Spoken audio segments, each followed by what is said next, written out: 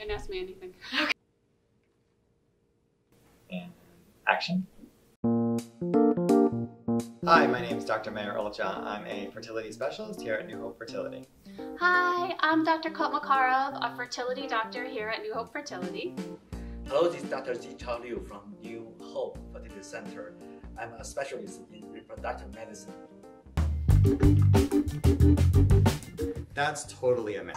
When women are on birth control, it's true. It stops them from ovulating every month.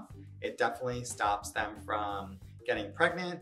They do still have that period every month, but it doesn't decrease your fertility. And in fact, we know that many women who stop their birth control, the very next month, they're ovulating, they're getting pregnant, and they're back to their baseline fertility. Totally a myth. No. Now, you don't want to drink excessive amounts, uh, more than three cups a day, uh, when you're trying to get pregnant or when you're pregnant. But I tell my patients I can have one cup a day of caffeine. That can be coffee, tea, soda. One cup a day is fine and will not decrease your fertility. They still have pretty good chance to achieve the pregnancy. And the chance for them to achieve the pregnancy is determined by their age their general health, more specifically, and determined by their the quality of their egg and the quantity of their egg. For example, for a lady at 40 year old at New Hope, they have almost 35% chance to achieve, achieve the pregnancy. For a lady at 42 year old, they have 25% chance to be pregnant. And for a lady at 44 year old, they have about a 10% chance to achieve the pregnancy. Definitely a myth, 100% false.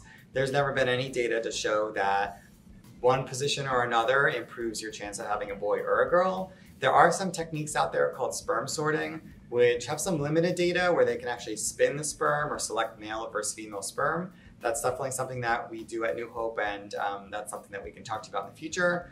But in terms of sexual positions, total myth.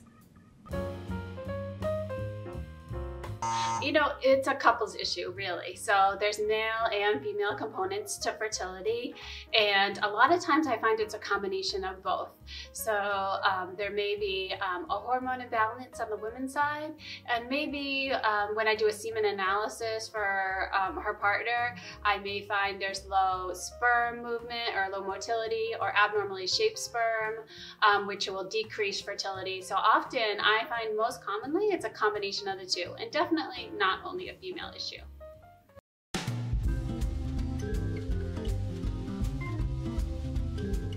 No, a lot of people thought that when we do egg retrieval, we just uh, get the patient future eggs to save them. And for a lady, even without any uh, treatment, without any medication, each cycle they have about 1,000 follicles to wake up in each month, or every most especially every 10 to 15 days. So now you see in egg retrieval cycle, we just will recycle the follicles. We are not waste reserve of the future cycle, the future follicles.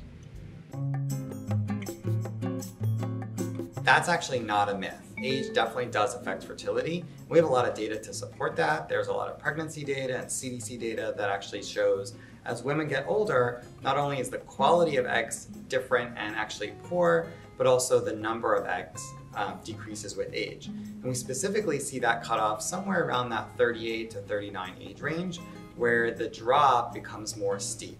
So does age affect fertility? Definitely not a myth, it is true.